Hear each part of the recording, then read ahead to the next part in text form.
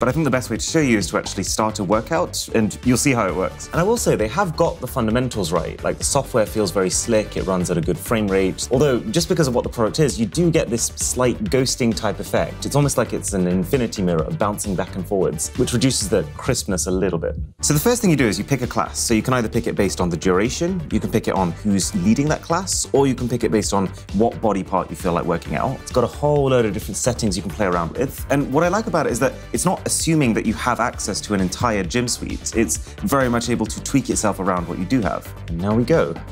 And now it initializes body tracking. It's just making sure there's one person and one person only in the frame. So when I saw this for the first time, I will say, as a fan of technology, this felt pretty cool. You've got all these fitness instructors who've clearly filmed themselves on a green screen background, so they've been able to cut it all out and almost appear like they're holographically there in your room.